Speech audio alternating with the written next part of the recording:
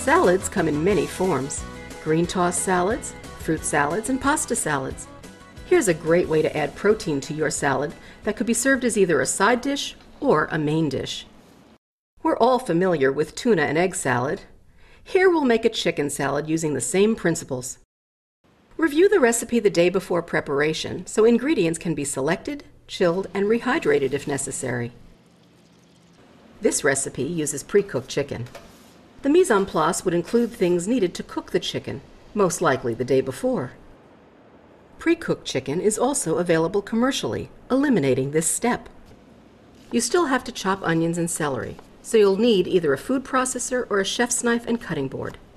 Plan ahead and have everything you need to work efficiently. Chill the salad dressings or mayonnaise overnight, so when you prepare the salad, it will already be cold. Follow the recipe for preparation of the ingredients that need to be chopped, diced, or sliced. Once the chicken is cooked and cool, cut it into small pieces. Follow all sanitary guidelines using the proper cutting boards when preparing the chicken. When preparing ingredients, leave them in large enough pieces to be identifiable. In a large bowl, combine all the ingredients. Remember, always measure.